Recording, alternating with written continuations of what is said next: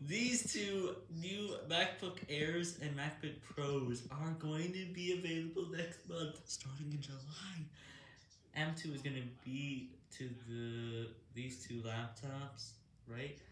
And they joined the even more powerful 14 and 16 inch MacBook Pro and with M1 Pro M1 Max. And to round out the most amazing lineup of Macs we've ever created, and to wear this space innovation for the Mac. Wait, wait, what about the iMac? Been updated in one year, and it has only an M1 chip. Mac OS.